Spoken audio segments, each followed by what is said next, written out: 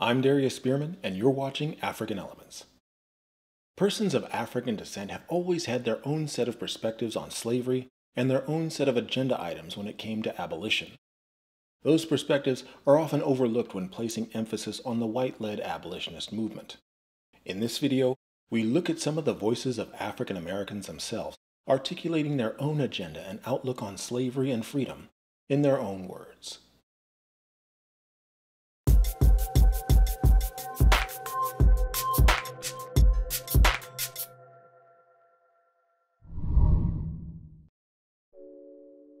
Welcome back to African Elements, where we make classroom lessons for instructors and online learners and make it freely available to everyone.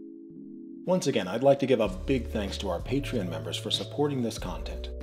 You can join them for as little as a dollar a month to get ad-free content and exclusive videos available only to Patreon subscribers. At various membership tiers, you can also have access to course syllabi, PowerPoint presentations, and entire Canvas course shells. Or you can support this channel with a like and subscribe.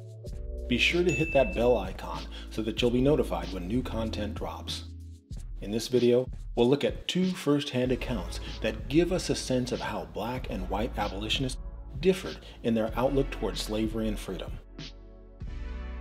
First, I have an excerpt from Booker T. Washington's book, Up From Slavery. Born a slave, he learned of his emancipation when he was nine years old. This excerpt is his reflection on the moment a United States officer told a gathering of slaves at the Big House that they were free and could go when and where they pleased. He writes, For some minutes there was great rejoicing and thanksgiving and wild scenes of ecstasy. I noticed that by the time they returned to their cabins, there was a change in their feelings. The great responsibility of being free, of having charge of themselves, of having to think and plan for themselves and their children, seemed to take possession of them. It was very much like suddenly turning a youth of 10 or 12 years out into the world to provide for himself.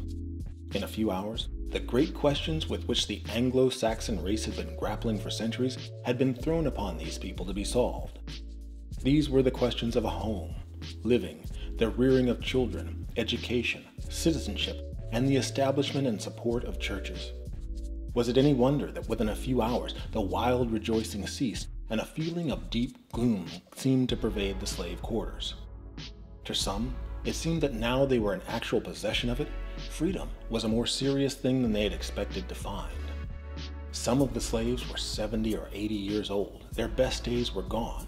They had no strength with which to earn a living in a strange place and among strange people. To this class, the problem seemed especially hard. What can we gather about the experience of newly freed men and women from this short excerpt? First, it seems clear that emancipation was a far more complicated thing than simply saying, okay, you're free now.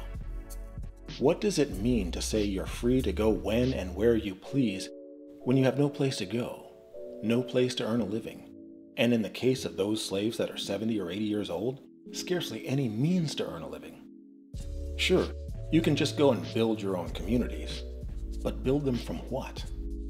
There were scarcely any schools, self help institutions, or financial institutions in place to provide support of any kind. All that had to be built from scratch. Whether you agree or disagree with Washington's solution, which I flesh out a bit more here in this video, it's important to understand the depth of the problem that Booker T. Washington set out to address. Again, the depth of these problems what happens after emancipation, were generally not a part of the agenda in the white abolitionist movement. We can see another set of concerns that occupied freed men and women in a letter written by Jourdan Anderson only months after the end of the Civil War. A year after finding work in Ohio, Anderson received a letter from his former master asking that he return to work for him on his plantation in Tennessee, where he and his wife had been freed by Union soldiers. The following letter, which was subsequently published in a number of newspapers, is his response. To my old master, Colonel P.H. Henderson, Big Spring, Tennessee. Sir, I got your letter and was glad to find that you had not forgotten Jourdan, and that you wanted me to come back and live with you again. Although you shot at me twice before I left you, I did not want to hear of your being hurt, and I'm glad you're still living. I want to know particularly what the good chance is you propose to give me, I'm doing tolerably well here. I get $25 a month with victuals and clothing. Now, if you'll write and say what wages you will give me, I'll be better able to decide whether it would be to my advantage to move back again. As to my freedom, which you say I can have, there's nothing to be gained on that score, as I got my free papers in 1865 from the Provost Marshal General of the Department of Nashville. Mandy says she would be afraid to go back without some proof that you were disposed to treat us justly and kindly, and we have concluded to test your sincerity by asking you to send us our wages for the time we served you. I served you faithfully for 32 years, and Mandy for 20 years. At $25 a month for me, and $2 a week for Mandy, our earnings would amount to $11,680. Add to this the interest for the time our wages have been kept back. If you fail to pay us for faithful labors in the past, we can have little faith for your promises in the future. In answering this letter, please state if there would be any safety for my Millie and Jane, who are now grown up and both good looking girls. You know how it was with poor Matilda and Catherine. I would rather stay here and starve and die if it come to that, than have my girls brought to shame by the violence and wickedness of their young masters. You'll also please state if there has been any schools open for the colored children in your neighborhood. The great desire of my life now is to give my children an education and have them form virtuous habits. Say howdy to George Carter and thank him for taking the pistol from you when you were shooting at me. From your old servant, Jourdan Anderson. As we can see from both of the previous first-hand accounts, education was a key concern for Reconstruction era blacks. Not only was the ability to work and support a family a primary concern, but what about back pay? What about reparations? What about a pension for those slaves who had worked their entire lives and now were 70 or 80 years old and unable to earn a living? For the most part, white-led abolitionist movements didn't believe in equality within their own movement and resisted allowing blacks to assume leadership positions in abolitionist organizations. That's to say nothing about the larger issue of social equality. Finally, what about poor Matilda and Catherine? What's Jourdan's concern here? Put your thoughts on that in the comments below. In these two first-hand accounts, we see the primary difference that separated black and white abolitionists. With a few exceptions, white abolitionists by and large sought to end slavery, but weren't particularly concerned with citizenship or equal rights.